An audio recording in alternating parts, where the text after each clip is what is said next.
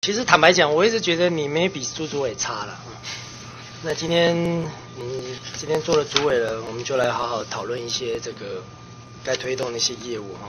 是，我可不可以了解一下，听你说明一下？相信你在业务报告也有说明，但再跟本席说明一次，针对目前主改，还有你现在主要的业务推动，你具体的施政有哪些作为？打算还有你具体的目标是怎么样？我们来讨论一下。好，谢谢委员给我这个机会说明。我想现在呃最重要的一个就是行政组织的职体制的还有组织的调整，我们称之为组改。那因为这个组织改造法案九十九年它的母法已经完成立法，现在是各部会的组织法。那二十九个当中，十五个事上也经过大院完成审议，所以剩下的。最后的这一段，希望能够在大院支持之下尽快完成立法。那但是在组织改造、组织体制的改造之余，我们同时也要注意流程的改造，还有服务的改造，这样才能够把这个组织体制的改造它的效益发挥到极致。所以说，在这次的业务报告里面，特别有提到，我们不但同步已经推动了效能跃升的方案，针对七大措施，包括单一窗口、服务评价等等，有做了一些。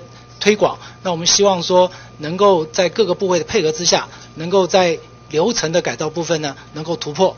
那最后呢一段就是民众的直接的感受，就是服务的第一线。那这个部分呢，我们也希望在这个改造之余呢，能够同时啊，能够更得到大家重视。所以不管是啊这个多用网络少用马路，或者是临柜服务，it's OK。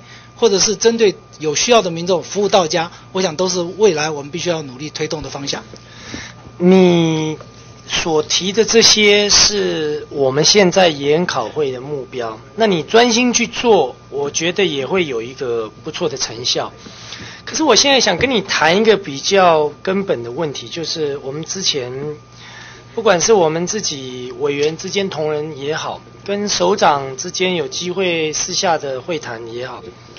我们都可以感觉到，事实上，公务人员比起外面的呃商业或者是各类的这个呃 non-profit organization 这些哈机关比起来，他的整个心态跟他的整个作为，其实他还是偏被动的。那主要的就是说，他没有实际上的这个业务的急迫性，除了有一些。呃，比较想要升主管的比较积极以外，大部分的公务员，事实上，他们的行政效率是，不是被人所称道的。他们其实上对很多事情，他们也不不是特别的急。所以我很想了解，就是说，认为有什么样子的一个制度，才可以让我们台湾的目前。的一个整个公务人员的整体的心态、行政效率，跟他们做事、跟对跟民众做窗口、对应民众这样子的态度，能够追得上我们心里面比较理想的一些国家的一些公务效率，类似像新加坡。新加坡虽然虽然比较集权，啊，它也民主度也非常的不足。但他整个公务员的效率，尤其在他们政府的严格管控之下，是让人家觉得他们公务员做事是非常有效率，而且当然以奉养廉也是他们的一个口号之一。他们有非常高的薪水，我们也做不太到，但是还是应该有一些结构性的。我今天跟你聊的就是说，因为讲了这些讲那么多，重点就是说，你要站在一个比较高的一个。位置去看我们台湾现在的一个整个公务员的效率其实是不好的，那我们要改改变它改善它，所以你看像全序部他们也推这个三趴这个丙等，就会引起非常大的反弹。现在又讲一到三趴，所以慢慢慢慢都有在退缩。坦白讲，有很多公务员团体来跟本席这边反映说，他们要对于三趴丙等有意见的时候，我都是听听他们的意见，但我都没有太大的。表示，因为我觉得世上任何的机构都是要有一定的淘汰机制。如果没有一定的淘汰机制，你最起码也要一定的考核机制。我们台湾目前公务员是这两种机制都没有，尤其有一些司法的单位，他们根本是更夸张，每个人都是甲等，啊，轮流去拿个乙等。所以我觉得你现在你们我们现在在推动的东西，都是在现有的架构跟框架之下，要来提升政府的效能，那是叫做事倍功半。所以我是想听听看，主委，因为事实上，主委，你不要我你绝对没有啦，我是不要小看研考会主委这个职务，非常多政府的首长都是从这个职务上去，因为他们能够深刻的不是很。权责不是说最关键，但他们能够深刻掌握到政府的脉动，所以包括总统也好，行政院也好，非常能够需要来倚重。所以你能不能提供一些比较建设性的？我们今天讲的是一个广泛性的一个想法跟做法，你能不能提供一些比较建设性的看法？作为一个追踪国家整体考绩、政府整体考绩的一个首长，你要怎么样提升政府的行政效率？好谢谢委员。我想这个在呃几年前有一个叫革新这样的一个呃这个做法，其实真正的革新是要从新开始，就是委员刚刚特别提到的，就是公务员同仁的认知，还公务人员的积极认识态度开始。那这个部分啊，在我们研考会，我们当然是会会同人事总处，还有考试院啊，不管是从文官的核心价值，甚至到说怎么样讲优汰劣的制度面啊，来激励。但但是在我们会啊这个范畴之内啊，我们比较马上可以采取的一个呢，是在我们的绩效管理制度里面，我们是针对机关还有单位的绩效，我们要啊加强它的所谓的管理绩效管理。那这里面呢，最好的就是说要带动他心态的改变，就是您自己设定你自己努力的指标。那么年头是这样定的，年尾我们就来检视。我们是希望把这样的一个做法啊能够落实。另外呢，我想同时啊，这个我们常常说管理的工具，不管是胡萝卜或者是棍子，我们也要一些适当奖励，因为有些公务同仁也是表现的不错，所以我们在服务品质评奖这个部分啊，我们不但是有团体奖啊，也有可以到个人的。我想我们也要带动啊公务同仁的士气，让能够表现优良的同仁啊，也有一些奖励的可能。所以这个部分呢，是在。不管是今年或者明年，呃，未来迈向国发会啊，我们都是还是列为重点的工作，我们会来努力。好，那个你请回座哈，我想请我们人事总处的黄人事长哦，来跟我们说明一下。这个应该称为黄黄总长哈。呃，跟委员报告。黄总长。只有人事长参与。哦，就是讲人事，不是黄总长。对。哦，人事总处没关系啦，还是称呼你黄总长啊。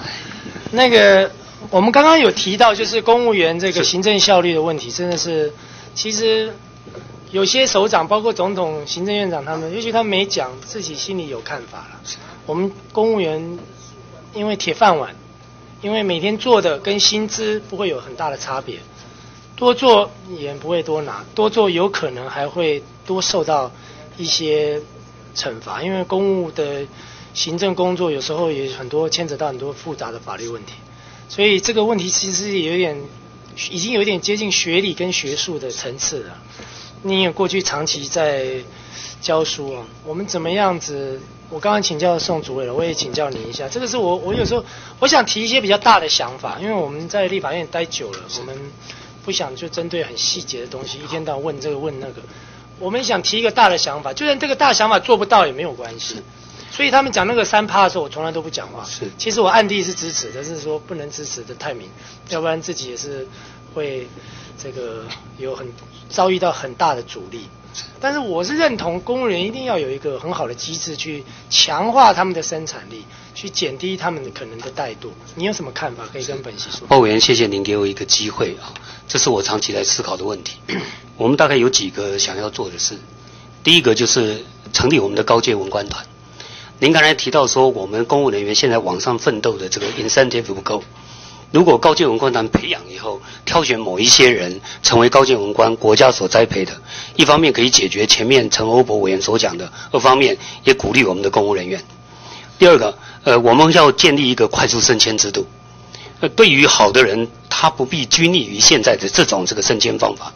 那快速升迁制度的话，在日本的文官他已经行之有年的。对于好的人，就是能够快速升迁，然后他很年轻就到了这个这个很重要的几个几个职层，那他们呢在推动国家业务会有帮助。其次，我们现在已经在专员班的部分已经挪进 AC，就是所谓的 Assessment Center。呃，我们在行政学上有一个叫做彼得定律，常常是人会升到他最无能的那个阶层。譬如说，几个科员挑了他过来当当了科长以后，你你你可不可以再说明一下？你这个东西蛮有趣的。好，那个 Peter，然后就是彼得原理，他说了一句话：人会升到他最无能的阶层。譬如说，我们有三个人哈，我们要擢拔他成为一个科长，等到他擢拔他成为一个科长以后，发现了他还是回去当科员比较好。那等到到科长的时候啊，呃，我们从三个科长里面，我直接跳好了，让他升为专门委员。等到他升到专门委员，才发现他回去当科长比较好。所以彼得就讲了一句讽刺公务机关的话，所以公务机关就充斥了一群无能的人。因为就是我身为人事长，我不能让这种现象出现。所以跟委员报告，我们现在就对于要升迁的人，要对他实施全面的评估。这个评估叫 assessment center。我们用心理测验，用情境测验，用无议题的讨论，用各种不同的方法，甚至于用长时间的 probation 来看他，这样子能够走拔到好的人。其次，你刚才所讲的绩效的部分啊，我要特别说，绩效的管理一定要配合他的奖金跟他的薪资和他升迁才会有效果。现在最困难的就是这一点嘛，升迁还可以谈，是绩效跟奖金现在好像没有没有。呃，我们未来会有团体的绩效。团体的绩效照点数来分配啊，这个也跟委员报告啊。呃，为了要使我们未来的改革推动能够方便，未来人事行政总处的计划教育的部分有两项，一项也就是您刚才很关怀的，如果我们的公务人员他本身在他的工作职务职场上碰到某一些障碍，我们的人事人员应该找专家跟他们面面谈，给他们智商，让他们有温暖的支持。另外一项就是这个刚才研考会所讲的，就是我们的编制。那这个部分哈，在考绩地方，我要特别跟大家说明，考绩法好像大家都只注意到百分之一到百分之三，其实考绩有一个地方叫优等的，那个优等的他给他的待遇是非常非常特殊的，所以我也跟委员报告哈，您刚才所讲的其实跟我们现在想做的啊都不谋而合，只不过是啊，我刚才所讲的都是很大的理想，未来能不能达到这个部分哈，我会尽量去做。波门第有讲，我们先教育。不能教育就 persuade 说服，不能说服我们就 negotiate，再不行哦，因为我们是人事行政主管哦，我们就就我们的人事行政力必须要去执行的。是不是我给你做个建言呢？是。你可不可以把你想的真正能够对我们政府是有重大影响的，想成一个策略？是。那也给我一份参考。谢谢。给马总统建议，反正他没有要选了嘛，那他可以尽量去做一些得罪人的改革。那我们是头皮。就是硬了点，多跑一点基层，其实还是可以弄一两个比较大的公务人员革新的方案出来。我觉得如果你能够做这个革新方案出来，未来你能够在公务机关做首长多久，我不是很清楚。但最起码你可以留一个名，我觉得这个的话是相当有意义的事情。谢谢委员。啊，好。